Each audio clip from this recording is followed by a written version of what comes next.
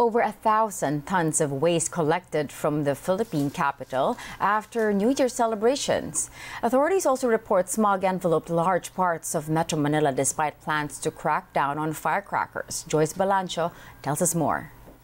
Hours after the celebration of New Year, tons of wastes were left scattered along some roads in Metro Manila. Some were debris of fireworks, but most were plastics and food waste the local government of Quezon City says they collected 1,500 tons of waste on Monday morning, higher than 1,300 daily average collection. Since the weekend, more cleanup teams have been deployed to the Quezon Memorial Circle where 35,000 people gathered for the New Year's Eve countdown. Hindi tayo nag-tumigil uh, sa itong volume or baka maipon, particularly in kainan, mga ganyan. So, for one, we did not stop collection. Doon sa mga areas na baka maraming kalsadang magsasara because of December 31 activities, nagpa-advance collection tayo doon. Aside from wastes, thick smog was also monitored in Metro Manila. Records from the Environmental Management Bureau show Mandaluyong City had the worst air quality, which was placed under acutely unhealthy category. Cities of Pasig and Taguig, as well as Pateros, also showed very unhealthy air quality, while Caloocan City and San Juan City recorded fair. The rest of the cities had no record from the Bureau. Professor Jerry Bagtasa from the UP Institute of Environmental Science and Meteorology says the thick smog was caused by smoke from fireworks.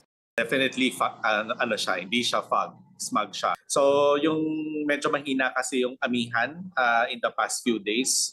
Uh, and yung amihan siya sana yung magdadala ng hangin papalayo ng Metro Manila nung mga paputok kagabi. Pero since mahina siya today, nagstay siya. He warns smog is dangerous for individuals who have asthma and other respiratory ailments. Even healthy people can develop severe illnesses if exposed to this type of smog over time. Yung mga paputok, apparently, para magkaroon siya ng kulay, pinalagyan siya ng mga certain chemicals. And itong mga chemicals na to, mga toxic sa atin. Um, and it, uh, ang problem pa dito sa mga toxic na elements na to, nag-accumulate siya sa katawan natin. So mahinga natin siya ngayon, stay lang siya sa katawan. Nag-accumulate siya so over our lifetime, 'di ba? Kung mas marami yung nahinga natin, will also have an effect cumulatively pagdating natin sa edad na mas mas matanda. Professor Bagtasa is pushing for a total ban of fireworks. He also advises the use of N94 or N95 masks for those who are regularly exposed to air pollution. Joyce Balancio, ABS-CBN News. The number of firecracker-related injuries in the Philippines climbs to at least 500 according to the tally of the Philippine National Police. Authorities say at least four people were also killed amid the holiday revelry. As for the health department, it logged at least 231 firecracker-related injuries as of January 1st. Almost half of those cases came from Metro Manila, involving mostly illegal firecrackers. Nakita nyo yung listahan ng mga paputok na naka-injure ay illegal pa rin. So ibig sabihin nun, na nabibili pa rin ng ating kababayan. Hindi na Department of Health ang makakapagsumpo niyan, ang ating kapulisan at ang ating mga lokal na opisyal. Kailangan mahinto yung pagbenta ng mga illegal na paputok. It's business as usual for some jeepney drivers even after the PUV consolidation dateline, date deadline rather lapsed. The transport authorities have allowed drivers to ply select routes where less than 60% of PUVs consolidated until the end of January. But there's still no official announcement on which routes are included in the exemption. Bumiyahe tayo dahil uh, uh, nagbigay naman extended ng uh, isang buwan ng uh, LTFRB at uh, kung ano may yung kalituan, hindi tayo yung may problema. So paano nila madedetermine ngayon kung may 60% na sa mga alin-aling ruta? Paano yung magiging basihan ng mga enforcers para manghuli? Transport regulators meanwhile clarify, unlike operators, jeepney drivers can still join accredited cooperatives or corporations even after the December 31st deadline. The LTFRB said less than half of routes in Metro Manila are being operated by consolidated entities. Regarding yung driver na manggagawa na kumakayod araw-araw, magiging iba lamang ang kanyang setup. So he or she will still drive. Ako as OTC, tututukan ko yung co-ops to hire those drivers dun sa mga hindi nag-consolidate and be members. Ang daming ang kailangan ng mga drivers eh. Sa UV, sa PJ, they need drivers.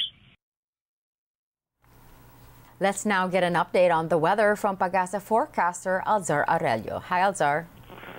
Hello and uh, good uh, good morning to all of you. Right now we we expect um, um, cloudy sky with scattered rain shower and thunderstorm over Mindanao due to the easterlies. Also rains over Cagayan Valley, Aurora, and Quezon due to northeast monsoon. Northeast monsoon affecting the most part of the Luzon, so we we will experience uh, cool weather, especially over northern and central Luzon. Here in Metro Manila and the rest of the country, we'll have generally fair weather, which we will experience partly cloudy sky uh, uh, for the most uh, part of the day, but uh, we expect isolated rain showers, especially in the afternoon or in evening. For the next, uh, for the, at this moment and for the next 24 hours, there is no low pressure area or, or tropical cyclone uh, inside the Philippine area of responsibility. Because the the strong winds due to northeast monsoon, we have gale warning for the day. We expect high high um, high uh, wave height up to 4.5 meters over seaboard of northern Luzon. Here in Metro Manila, the forecast temperature is from 23 up to uh, 31 degrees Celsius. That's our latest update from Pagasa. I'm Sardi Aurelio. Thank you very much for that update, Azar. The year 2024 is looking to be an exciting one for fans of Korean celebrities, as a slew of K-pop and K-drama stars set concerts and fan meetings in the Philippines. Ana Cerezo gives us a look. Your calendars, Hallyu fans, because several K-pop stars will be welcoming 2024 in the country. On January 6, Yesung of Super Junior returns to Manila for his solo concert Unfading Sense. Carrots, do you have your tickets already? On January 13, 17's follow tour hits the Philippines. Filipino Ahgases will finally be able to complete the so-called Tingi era of GOT7 as Mark Tuan brings his The Other Side tour to Manila on January 14. Meanwhile, on January 21, NCT 127's Neo City The Unity Tour will also be making a stop in the country. Apart from the concert, the group will also have a fan signing event for their special winter single album, Be There For Me, on the next day. And Heads Up ENGENEs and Hyphen's Fate Tour will be happening in Manila on February 3. Other Korean celebrities landing in Manila are singer-actor Oppa Park Hyung-sik, who will have a fan meeting on February 17, while Yoona of Girls' Generation will delight fans on March 1. Meanwhile, Wave to Earth has added a second show on March 13 for fans who missed out on tickets for the March 11 date. Korean heartthrob Cha Eun-woo, another singer-actor who is known for True Beauty, will be returning to the Philippines on March 16. And save the date DIVEs because IVE has announced they'll be in the Philippines on July 13. Apart from some of the biggest stars from the East, fans are also anticipating their long-awaited jam session with household Western acts who will finally be returning to the Philippines. Among them are Coldplay, who will bring their Music of the Spheres tour on January 19 and 20.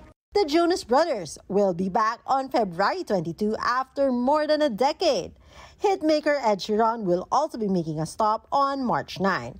And after more than 10 years, pop superstar Janet Jackson will again be holding a concert on March 13. Meanwhile, One Direction's Niall Horan will surely make fans swoon on May 13.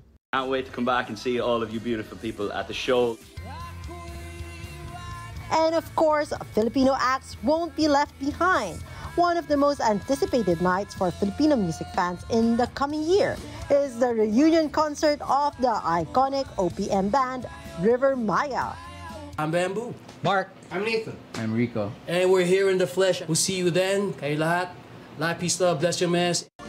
Even OPM legend Gary V, who will celebrate the culmination of his 40th career anniversary in a series of concerts on April 26 and 27, is seemingly excited for this reunion after showing support in Rico's Instagram post.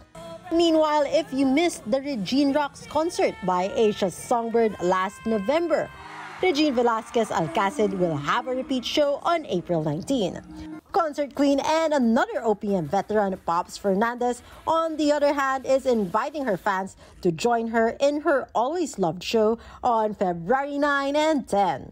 Ana Cerezo, ABS-CBN News.